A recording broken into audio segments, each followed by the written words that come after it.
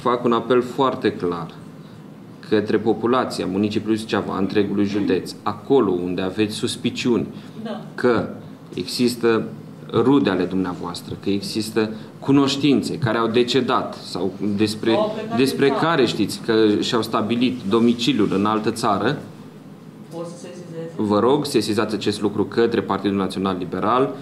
sesizați către noi, sesizați către presă aceste situații, astfel încât să putem verifica pe listele electorale permanente situații de genul acesta. Cu toate că în majoritatea localităților este semnalată tot mai des problema persoanelor decedate sau a celor stabilite în străinătate ce încă se află pe listele electorale permanente, primarul Ion Lungu susține cu vehemență faptul că din anul 2007 și până în prezent, pe listele electorale din municipiul reședință de județ nu se află nicio persoană decedată. Însă președintele organizației municipale PNL Suceava, Marius Zmou, nu este de aceeași părere cu edilul șef în acest sens. Îmi dați voie să-l contrazic pe primarul Ioan Lungu.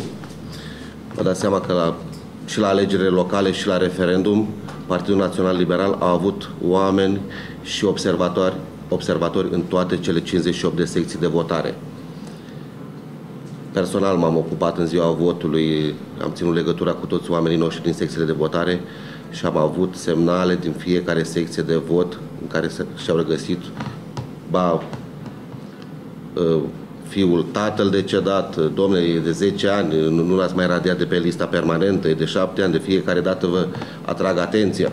Mai mult, Zmău susține că pe listele electorale permanente din municipiul Suceava teoretic figurează 95.000 de persoane cu drept de vot, însă acesta este de părere că numărul nu este unul real. Mai mult, vicepreședintele PNL Suceava, Ovidiu Doroftei, susține că membrii partidului din care face parte efectuează verificări în urma sesizărilor numeroase pe care le-au primit de la suceveni. Noi verificăm întrucât avem sesizări din partea unor oameni care au participat atât la alegeri locale cât și la referendum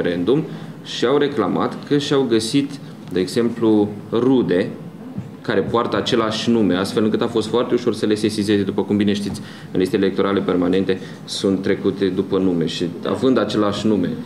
mă rog, care fi fost el Ionescu, Ionescu l-a văzut acolo și el fiind decedat. Pentru a urgenta soluționarea acestor probleme în ceea ce privește listele electorale permanente din municipiul Suceava, reprezentanții Partidului Național Liberal sunt de părere că ar trebui să existe o comunicare foarte bună între instituțiile abilitate în reactualizarea listelor. Toate uh, instituțiile abilitate în operarea acestor date să facă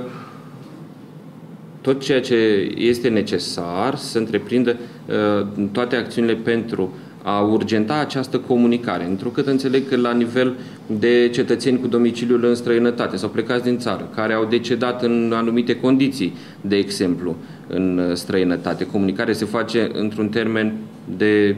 cel puțin șase luni, dacă nu uneori până la un an, către uh, localitate de domiciliu pentru a putea fi operat în liste electorale permanente.